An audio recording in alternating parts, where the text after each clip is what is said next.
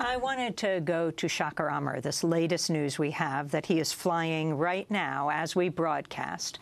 Um, he's been released from Guantanamo after more than 13 years behind bars on his way to London, home. Uh, Shaker Aamer had been cleared for release since 2007, but the Pentagon refused to set him free. During his time in captivity, he claims he was subjected to torture, beating, sleep deprivation. At one point, lost half his body weight while on a hunger strike. He's never been charged with a crime. For all the more than 13 years he's been held by the Americans, he has never been charged with a crime. As recently as last week, British MP Tania Mathias had called for his release. It's very scary because remember he's cleared for release 2007 and subsequently 2009. So it's a form of torture to say to somebody you're released and then keep them again for years.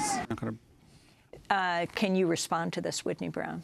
Yeah, first to say, Shaker Aamer's experiences just are an endless story of human rights violations from his detention, uh, arbitrary detention, prolonged detention, no due process fair trial protections. He's cleared for release in 2007 and held for an additional eight years. And the key issue was that, unlike the other British detainees who were released, he was a British resident, not a British citizen. And the U.S. used that as the pretext for refusing to release him even though he was cleared.